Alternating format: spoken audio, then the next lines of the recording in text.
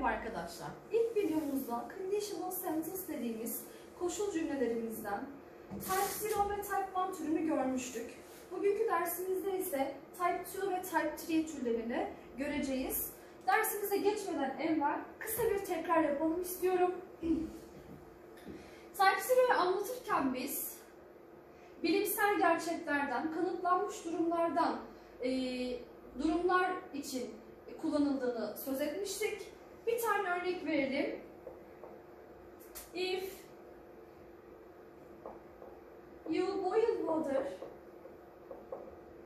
it evaporates. Eğer sen suyu kaynatırsan o buharlaşır. Bildiğimiz gibi genel gerçektir, bu kanıtlanmış bir olaydır. Suyu kaynatırsak su buharlaşır derken Type 0'ı kullanıyoruz. Yapı olarak da bir hatırlayalım. If clause kısmımız simple present tense'ti, geniş zamandı. Main clause kısmımız da yine simple present tense'ti. Yine geniş zamanda. Type 1'da ise gelecekte olması mümkün olan olayları anlatırken kullanıyoruz arkadaşlar. Ee, bir kesinlik söz konusu değil ama ihtimal dahilinde bir örnek verelim onu daha iyi anlayalım. If it doesn't rain,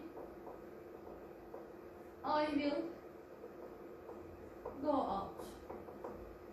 Eğer yağmur yağmazsa ben dışarı çıkacağım. Ya e, dışarı çıkmam benim neye bağlı? Yağmurun yağmasına bağlı. Yapı olarak baktığımızda Type 1'da if clause kısmım simple present tense, main clause kısmım ne demiştik? Feature olan will, modals'lar ve imperatives'ler. Şimdi artık konumuza geçebiliriz. Pardon. Type 2.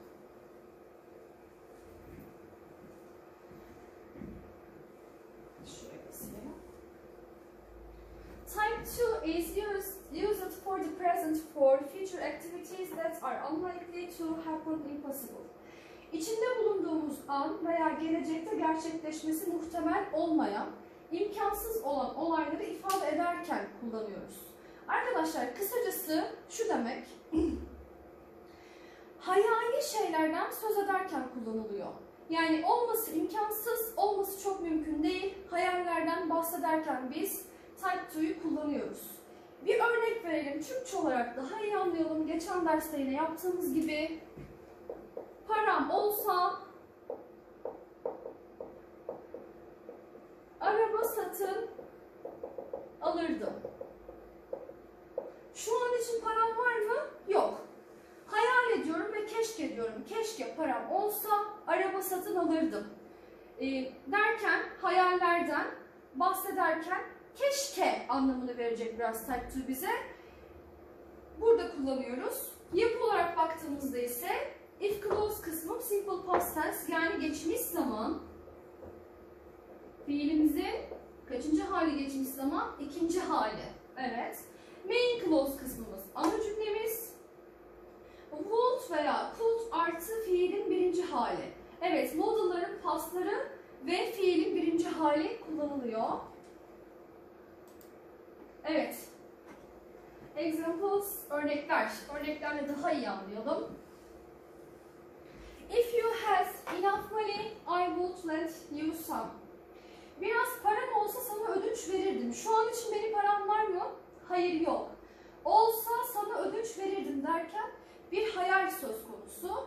Ee, yine bakalım yapı olarak if clause simple past tense'de bu defa. Yani neydi? Geçmiş zaman.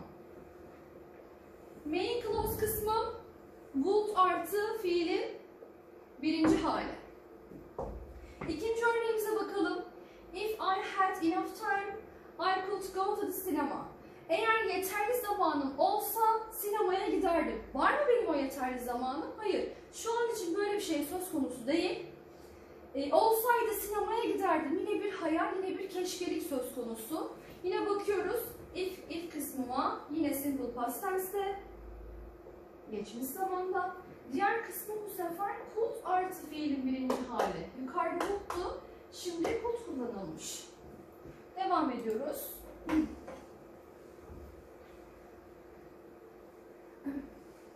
If I knew Spanish, I could understand and help you. Eğer İspanyolca bilsem seni anlar ve sana yardım ederdim. Ben şu an için İspanyolca biliyor muyum? Hayır. Ama eğer bilseydin seni anlar yardım ederdim derken kullanıyoruz. If you studied hard, you would pass the exam. Eğer çok çalışırsan, çalışsaydın, çalışsan sınavdan geçerdin. Sen çalıştın mı? Hayır. Çalışsaydın geçer miydin? Evet. Ama bir hayal söz konusu mu? Evet. Bir keşkeden bahsediyor muyuz yine? Evet. Dolayısıyla type to'yu kullanıyoruz. Yine bakalım. If clause'a yapı olarak evet simple past tense'de yani geçmiş zamanda study ne olmuş? Studied. Y harfi düşmüş ve iyiliği takısı gelmiş. Fiilin ikinci hali. Main clause kısmı ise would artı fiilin birinci hali. Pass. If he didn't drink so much, he wouldn't cough so much. Bu kadar çok içmese, bu kadar çok öksürmezdi derken yine type to'yu kullanıyoruz. Her iki tarafta past halde. Evet, diğer örneğimizle devam edelim. If I lived by the sea, I would do, a lot of swimming. Eğer deniz kenarında yaşasam çok fazla yüzerdim. Şu an için yaşıyor muyum? Hayır. Yaşasaydım yüzerdim. Ama şu an bir hayalden söz ettiğimiz için type to'yu kullanıyoruz. Bakıyorum if'li kısmı simple past tense'de live ilgi takısı gelmiş. Main clause, main clause tarafında would artı do fiilin evet birinci hali. Örneğimize devam ediyoruz. If I didn't warn you, you would get married that man. Eğer seni uyarmasam sen o adamla evlenecektin. If his friends came to his birthday, he would be very happy. Arkadaşları onun doğum gününe gelse o çok mutlu olurdu. Gelmiş mi? Hayır. Evet gelse çok mutlu olurdu. Yine bir hayal, yine bir keşke söz konusu. Bakıyoruz if clause'umuza. Evet fiilimiz ikinci halde. Kamu ikinci hali came. Ve yine main clause'umuzda would artı fiilin bir, birinci hali. If I knew the answer, I would tell it to you. Cevabı bilsem sana söylerdim. Yine bir hayal söz konusu. Knew, bilsem. Know fiilinin ikinci hali. Knew. Yine main clause kısmı would artı fiilin birinci halinde. Tell. Devam ediyoruz. They would buy a new house if they had more money. Ee, burada arkadaşlar gördüğünüz gibi bu sefer ilk cümlemiz main clause olarak kullanılmış. If ne tarafta? Diğer tarafta. Bunlara dikkat ediyoruz. Gördüğünüz gibi e, tekrardan virgül kullanılmıyor araya. Nerede geliyordu virgül? Bir önceki videomuzda bahsetmiştik. If clause başa geldiğinde if clause ile main clause arasında virgül geliyordu.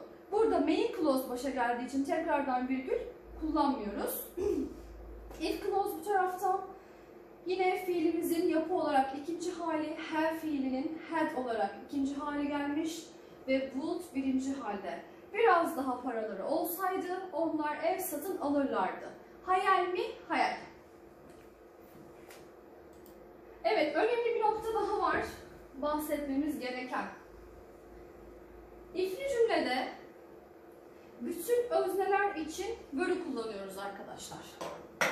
Her ne kadar I, he, she, it özneleri için was kullanımı mümkün olsa da biz if clause konumuz için ve bütün özneler için were kullanımı daha da bir yaygın, daha da bir şık duruyor diyelim. If it weren't very cold now, we could go out for a, a walk. Hava çok soğuk olmasa dışarı yürüyüşe çıkardık. Hava soğuk mu? Soğuk. Olmasa çıkar mıydık? Evet. Bu bir hayal mi? Evet. If I were rich, I would buy that Jaguar.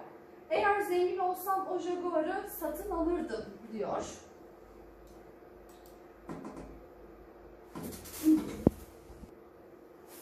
Evet, diğer bir türümüz olan Type 3'yi göreceğiz arkadaşlar. Type 3 is used deal, deals with the past situations that did not really happen. Diyor ki, geçmişte gerçekleşmemiş eylemleri ifade et, et- etmek için kullanılır. Evet, geçmişte e, kalmış fakat tamamlanmamış olayları anlatırken kullanıyoruz.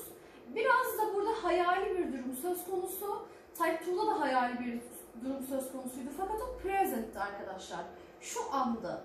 Bu e, yine bir hayalilik söz konusu ama bu past, geçmişte kalmış olacak. Bir tane örnek verelim. Türkçe olarak anlayalım. Yeteri kadar çalışsaydım sınıfta kalmazdım. Ne dedik? Geçmişte gerçekleşmiş fakat tamamlanmamış. Yeteri kadar sen çalıştın mı? Hayır. Çalışsaydın geçer miydin? Evet. Bir hayal söz konusu mu? Evet. Fakat bu geçmişte kalmış. Yani past. Yapı olarak baktığımızda if clause past perfect tense yani had artı fiilin üçüncü hali. Hatırlayalım past perfect tense'i. Fakat main clause kısmımız ana cümlemiz would artı have 3, could artı have 3, might artı have 3 olarak kullanılıyor. Bakalım örneklerle daha iyi anlayacağız. We might have finished the work on time if they ha had had us last week. Eğer geçen hafta bize yardım etselerdi, biz işi zamanında bitirebilirdik. Bize yardım ettiler mi? Hayır. Etselerdi bitirir miydik? Evet. Bir hayal söz konusu mu? Evet. Peki geçmişte kalmamış mı bu? Evet. Dolayısıyla type 3 kullanılıyor. Yapı olarak da bakalım. if bu defa yine bu tarafta main clause'la başlamışlar cümleye. Burası main clause'umuz. Hatırlayalım.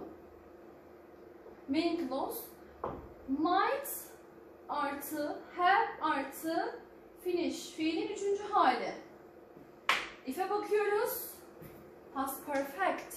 Had artı fiilin üçüncü hali. İkinci cümleye bakalım. Had worked hard, you would have promoted. Eğer çok çalışmış olsaydın terfi etmiş olurdun. Sen çok çalıştın mı? Hayır. Çalışsaydın eder miydin? Evet. Bir hayal söz konusu mu? Evet. Geçmişte kalmış mı? Yine aynı şekilde evet. Bakıyoruz ifli kısım had artı fiilin üçüncü hali. Ve main clause kısmımız would artı have artı promoted fiilin üçüncü hali. Geçiyoruz. If you had watched this film, you would have liked it. Eğer bu filmi seyretmiş olsaydın, sen e, fe- filmi seyretmiş olsaydın sen bunu severdin diyor. Filmi sen seyrettin mi? Hayır. Seyretsen sever miydin? Evet. Bir geçmişlik söz konusu ve yine bakıyoruz. If'li kısmı had artı fiilin üçüncü hali past perfect tense ve diğer taraf would artı have artı fiilin üçüncü hali. Örneklerimize devam ediyoruz. If you hadn't informed him, he couldn't have gotten out of trouble. Eğer onu uyarmasaydın, onun başı beladan kurtulmazdı. Bir örneğe de bakalım. If you had married me, I would have given you car. Eğer benimle evlenmiş olsaydın sana bir araba verecektim. Peki sen benimle evlendin mi? Hayır. Evlenseydin araba verir miydin? Evet. Hayali bir durumdan bahsediyoruz ve geçmişte kaldığı için type 3 diyoruz. Bakalım yine yapı olarak If clause kısmım had married past perfect tense. Had artı fiilin üçüncü hali. Main clause kısmında would artı have artı give fiili. Given fiili fiilin üçüncü hali. Devam edelim. If he had met her, he would have told her. Geçmişte onunla tanışsaydım ona söylerdim derken Tanışmış mıyım? Hayır. Tanışsam söyler miydim? Farazi bir şey mi? Hayali bir şey mi? Evet. Geçmişte kalmış mı? Evet. Dolayısıyla type 3 kullanılıyor. If he had come, he would have seen me. Eğer gelmiş olsaydı beni görmüş olacaktı. Yine bir hayal söz konusu olduğu için type 3'yi kullanıyoruz. Bakıyoruz. Fiilimizin past perfect, if'li kısmı past perfect ve main clause kısmı would artı have artı fiilin üçüncü hali. Seen hangi fiilin? Görmüş, görmek fiilinin. Seen'in üçüncü hali. Devam ediyoruz. If he had studied harder, he wouldn't have failed. Eğer daha sıkı çalışsaydı başarısız olmayacaktı. Kalmayacaktı anlamında. Çalışmış mı? Hayır. Çalışsaydı başarısız olur muydu? Evet. Olmazdı. Ama çalışmamış dolayısıyla hayali bir durum söz konusu. Ee, bir geçmişlik söz konusu. Type 3'yi kullanıyoruz. If my mom had seen this bird, she would have bought it. Şayet annem bu kuşu görseydi onu satın alırdı. Eğer annem bu kuşu görseydi onu satın alırdı. Derken görmüş mü? Hayır. Bir hayal söz konusu mu? Evet. Type 3'yi kullanıyoruz. Son cümlemize de bakalım. If we hadn't practiced, we wouldn't have won the match. Alıştırma yapmasaydık maçı kazanamazdık. Derken yapı olarak tekrar bir bakalım. If clause'umuz past perfect yani had artı fiilin üçüncü hali. Pratik yapmanın üçüncü hali düzenli olduğu için ed takısı gelmiş practiced. Main clause kısmımıza da bakıyoruz. Would artı have artı fiilin üçüncü hali. Alıştırma yapmasaydık maçı kazanamazdık.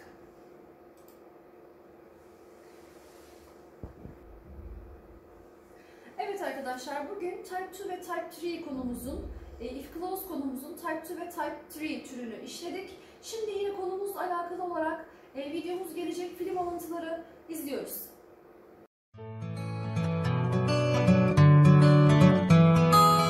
And what if you're wrong? What if I'm what's real? And what if you're wrong? What if I'm what's real? And what if you're wrong? What if I'm what's real? You all die. Anyone attempts to get off their boat, you all die. Anyone attempts to get off their boat, you all die. Did you write your letters if it makes you happy? I'll even mail them for you. How's that? Did you write your letters if it makes you happy? I'll even mail them for you. How's that? Did you write your letters if it makes you happy? I'll even mail them for you. How's that? Dear Red, if you're reading this, you've gotten out. Dear Red, if you're reading this, you've gotten out. Dear Red, if you're reading this, you've gotten out. If I stay here, will you let him go? What are you talking about? If I stay here, will you let him go? What are you talking about? If I stay here, will you let him go? What are you talking about? If Ramsey wins, I'm not going back there alive. Do you understand me? If Ramsey wins, I'm not going back there alive. Do you understand me? If Ramsey wins, I'm not going back there alive. Do you understand me? If this is my dream, why can't I control this? Because you don't know you're dreaming! If this is my dream, why can't I control this? Because you don't know you're dreaming! If this is my dream, why can't I control this? Because you don't know you're dreaming! If you ever get out of here, do me a favor. Sure, Aunt. Anything. If you ever get out of here, do me a favor. Sure, Aunt. Anything. If you ever get out of here, do me a favor. Sure, Aunt. Anything. If you get the forms, I'll prepare them for you. Nearly free of charge. If you get the forms, I'll prepare them for you. Nearly free of charge. If you get the forms, I'll prepare them for you. Nearly free of charge. If you want my help, you have to remain calm. If you want my help, you have to remain calm. If you want my help, you have to remain calm. Nothing can change what just happened. But you can walk out of here alive. If you just promise us that you'll you'll let this go. Nothing can change what just happened. But you can walk out of here alive. If you just promise us that you'll you'll let this go. Nothing can change what just happened. But you can walk out of here alive. If you just promise us that you'll you'll let this go. Now, I'll be next door if you need me. Why would I need you? No reason at all. Now, I'll be next door if you need me. Why would I need you? No reason at all. Now, I'll be next door if you need me. Why would I need you? No reason at all. Tell him you're alive. You'd come after me. I'll come after you if you don't. Mm, I believe you. Tell him you're alive. You'd come after me. I'll come after you if you don't.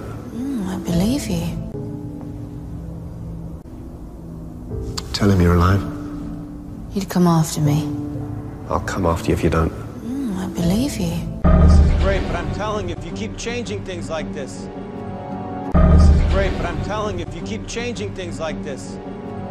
This is great, but I'm telling you, if you keep changing things like this. Waste of money if you ask me. Why is that? Waste of money if you ask me. Why is that? Waste of money if you ask me. Why is that? We've been listening. She said she told you. Well, if you've been listening, you'll know she didn't. We've been listening. She said she told you. Well, if you've been listening, you'll know she didn't. We've been listening. She said she told you. Well, if you've been listening, you'll know she didn't. You don't like what I have to offer, you can buy from someone else. You don't like what I have to offer, you can buy from someone else. You don't like what I have to offer, you can buy from someone else. You mention my name, we'd never do business again. You mention my name, we'd never do business again. You mention my name, we'd never do business again. Your girl's dead by now. She's still alive. Better if she's dead. Your girl's dead by now. She's still alive. Better if she's dead. Your girl's dead by now. She's still alive.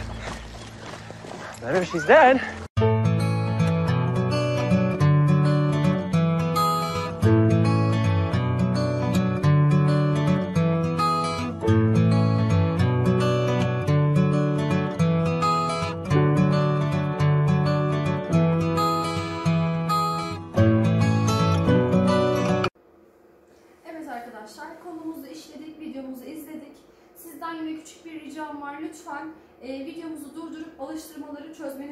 Şimdi alıştırma çözeceğiz.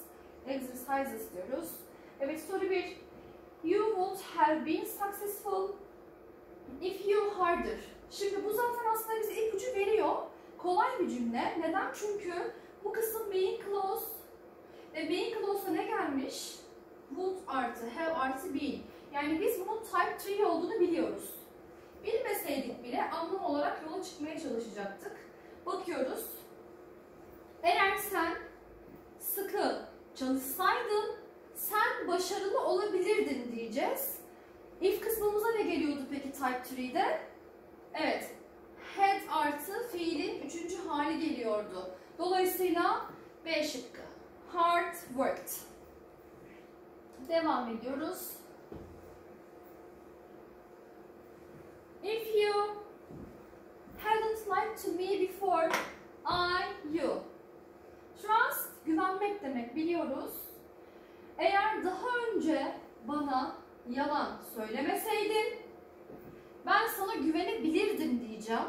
Bir hayal söz konusu mu? Evet. E, dolayısıyla ne geliyordu main clause'umuzda? Type 3'de hatırlayalım. Evet.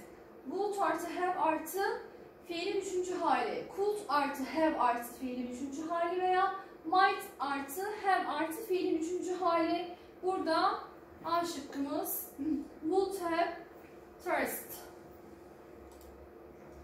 Devam edelim. If I hadn't fallen from tree, I, my arm.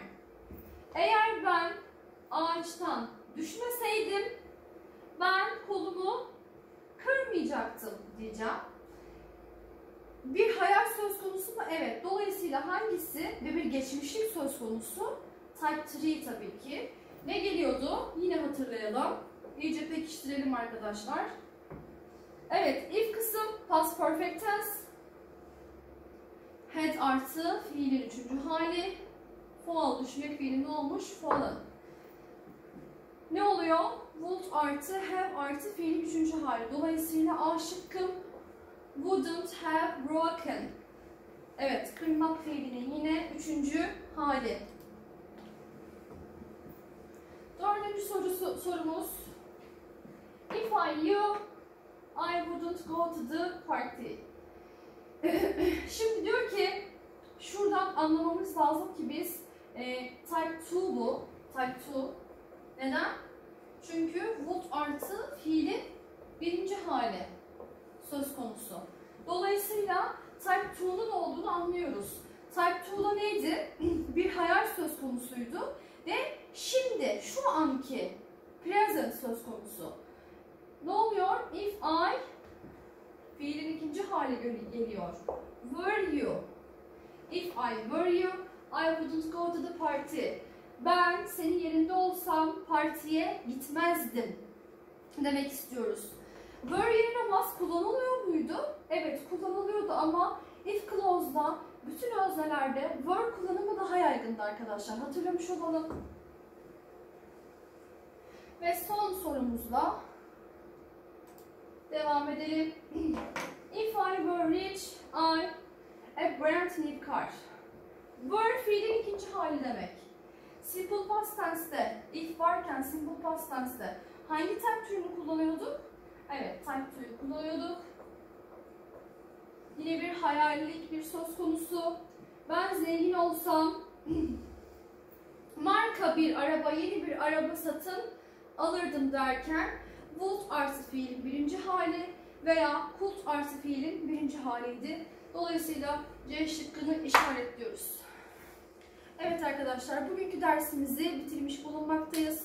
If clause konumuzu da tamamladık. Umarım yararlı olmuştur. İyi günler diliyorum. Görüşmek üzere.